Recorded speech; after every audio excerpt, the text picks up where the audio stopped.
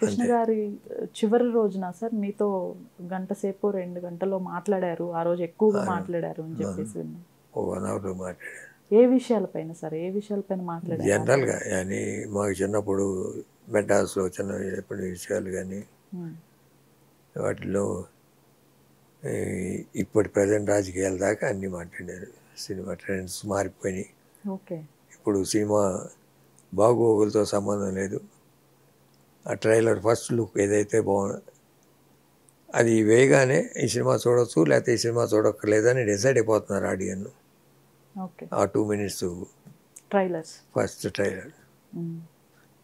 దాంతోనే డిసైడ్ అయిపోతున్నాడు ఈ సినిమా చూడొచ్చు లేకపోతే ఈ సినిమా చూడక్కర్లేదు. సినిమా చూసేదాకా ఆ పేషెన్స్ కూడా లేదు జనానికి ఇప్పుడు. అంటే హాలీవుడ్ ట్రెండ్స్ అదే ఇప్పుడు. హాలీవుడ్లో వాళ్ళు ముందు ట్రైలర్ చేస్తారు. అది మొత్తానికి చూపించుకుంటారు. అది క్లిక్ అయితేనే సినిమా తీస్తున్నారు. లేకపోతే స్క్రాప్ చేస్తున్నారు సినిమా ప్రాజెక్ట్ని. మనకి ఇంకా రాలేదు అది. రాజకీయాలపైన సార్ రాజకీయాలపైన ఏం మాట్లాడారు? రాజకీయాల పని ఉంది.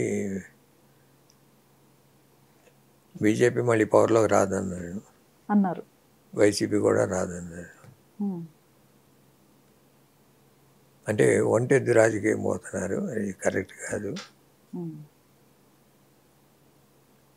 Ramarao eighty four to eighty nine rule ఎలా ఉందో అలా ఉంది. ఇక్కడ కేసీఆర్ గారు ఇంకో టర్మ్ వస్తారన్నాడు. ఓకే. ఇక్కడ. ఓకే. అంటే ఇక్కడ చేసేది కనిపిస్తుంది ఇది ఇరిగేషన్ ప్రాజెక్ట్స్లో కానీ. హైదరాబాద్ డెవలప్మెంట్లో కానీ. రోజు వెళ్తున్నా వస్తున్నా మార్పు కనిపిస్తూ ఉంది సిటీలో.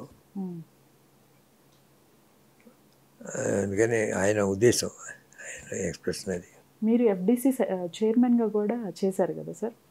అప్పుడున్న దానికి ఇప్పటికి ఇంకా ఏమైనా డెవలప్మెంట్ చేంజ్ అయితే బాగుండు అనేది ఏమైనా ఎక్స్పెక్ట్ చేస్తున్నారా? అసలు గవర్నమెంట్స్కి ఇండస్ట్రీస్ అనేది ప్రయారిటీ లేదు. ఫిల్మ్ డెవలప్మెంట్ కార్పొరేషన్ చేయాల్సిన బాధ్యతలు ఈ స్టేట్లో కానీ ఆ స్టేట్లో కానీ ఎగ్జిస్టెన్స్లోనే లేవు. రాష్ట్ర విభజన అయినాక అంతకుముందు అయితే ఏదో కార్యక్రమాలు ఉండేవి తప్ప యాక్టివ్గా లేవు రెండు చోట్ల. ఓకే. యాక్టివిటీస్ అంటే ఇప్పుడు ఆంధ్ర ఉంది. ఇప్పుడు ఇప్పుడు రాజశేఖర రెడ్డి గారు ఉండగా వైజాగ్ని సెకండ్ ఫిలిం క్యాపిటల్గా చేద్దామనే ఉద్దేశంతో అప్పుడు వైజాగ్లో ల్యాండ్ ఒకటి అలాట్ చేశారు. బట్ అది ముందుకు తీసుకెళ్ళా ఎవరు సబ్సిక్వెంట్ గవర్నమెంట్స్. ఓకే.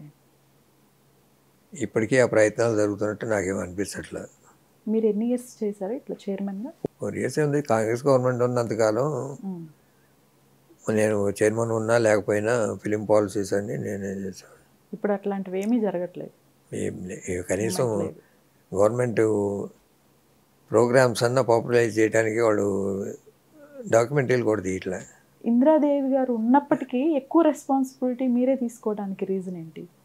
ఆవిడే తీసుకునేవాడు ఆవిడ ఏదైనా కావాలంటే చెప్పేవారు అన్నయ్యకి చెప్పేవారు అన్నయ్య చెప్పేవారు. అవన్నీ ఫ్యామిలీ మ్యాటర్స్ రమేష్ బాబు గారు కెరీర్ మధ్యలో ఆగిపోవటానికి ఏంటి సార్ రీజన్ అంటే మిగతా హీరోస్తో కంపేర్ చేసుకుంటే అంత సక్సెస్ రీచ్ అవ్వట్లేదు అనేది తీసుకొని మెంటల్గా డెసిషన్ తీసుకున్నాడు అతనే.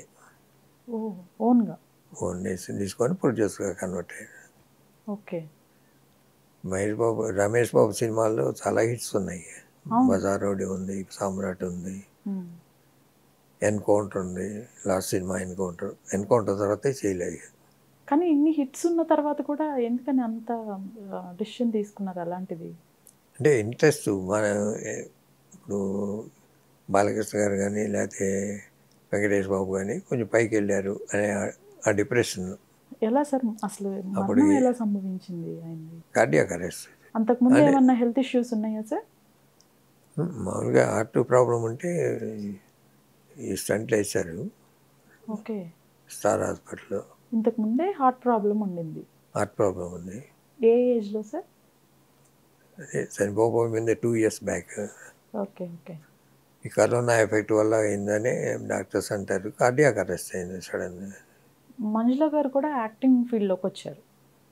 వచ్చినప్పుడు ఫ్యాన్స్ నుంచి కొంత వ్యతిరేకత ఏర్పడింది. ఆ టైంలో ఎందుకని ఎక్కువ ఇన్వైట్ చేయకపోవడానికి రీజను? అంటే ఫ్యామిలీ సైడ్ కూడా అంత సపోర్ట్ రాలేదు కదా మంజుల గారికి? సపోర్ట్ రా ఎంకరేజ్మెంట్ రాలేదు డిస్కరేజ్మెంట్ లేదు? రెండూ లేవు. అంటే జనరల్గా ఫిల్మ్ ఇండస్ట్రీలో లేడీస్ బాంబేలో అయితే ఉంది కానీ ఓకే. ఇక్కడ కొంచెం రెసిస్టెన్స్ ఉండేది సౌత్లో. ఓకే. సౌత్ వరకు. తర్వాత కాలక్రమేణా పోయినాయి అవన్నీ కానీ ఘట్టమనేని వారసులుగా నెక్స్ట్ ఎవరిని ఎక్స్పెక్ట్ చేయొచ్చు? రమేష్ బాబు కొడుకున్నాడు. తనకి ఇంట్రెస్ట్ ఫారెన్లో ఉన్నాడు కదా?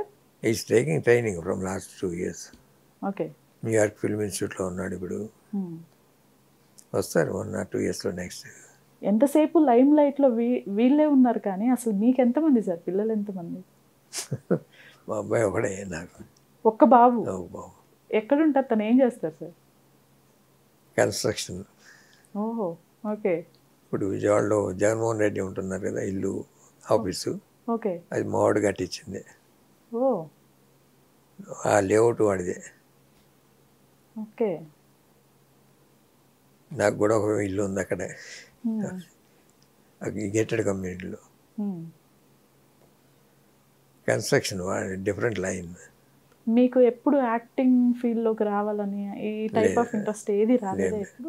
మిమ్మల్ని అట్లీస్ట్ ఎవరైనా అడిగారా? మీరు కూడా పలానా పాత్ర చేయండి. ఇప్పుడు ఇంట్రెస్ట్ ఉంటే మా సినిమాల్లోనే చేసాం అదే.